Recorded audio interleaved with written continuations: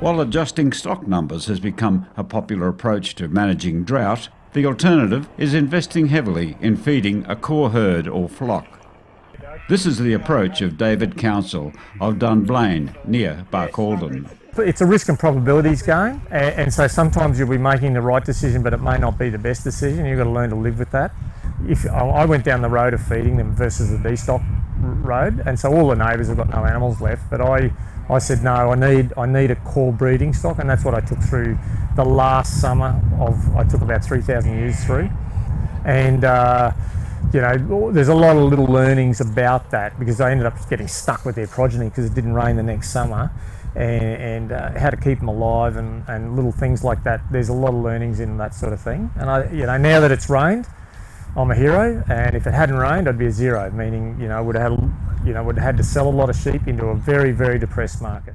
David Counsell normally runs around 15,000 sheep on his 40,000 acres of Mitchell Grass Downs. Uh, drought started biting us in about 2013. We, and we've effectively been scaling down numbers ever since. 2016 we got a lot of winter rain, so it, it made it feel like we were going to recover. Didn't have a full flock on our hands, but um, it, it didn't rain after 2000, winter 2016, and so the next two years were uh, year, uh, were years of downscaling, and and then last year was a like this can't go on, and I've got no dry matter in the paddock, and so I took a regime of almost essentially 100% feeding everything of, of the remaining one third of the flock, and um, and and and now it's just rained and the green grass has just turned up.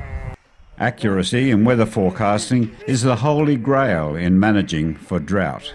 Uh, you can pull your hair out over that because it it's really frustrating and it's where to improve your decision making processes better medium and long term uh, weather forecasting is really critical and so finding all those websites and trying to interpret of just how likely they are to be right um, is really really important versus historical ana analysis of historical rainfall data is really really important to you.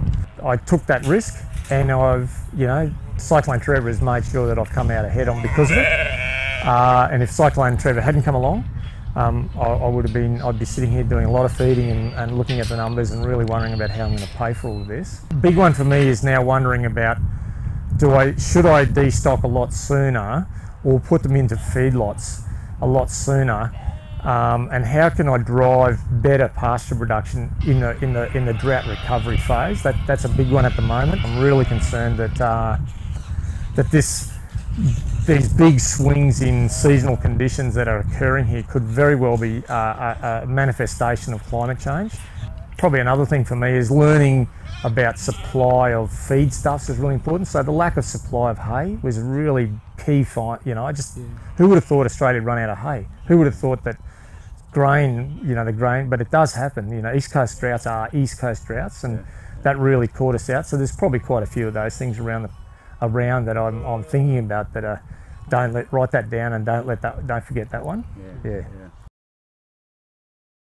Industry, government, and Desert Channels Queensland support the grazing industry in managing for change and a sustainable future on the rangelands.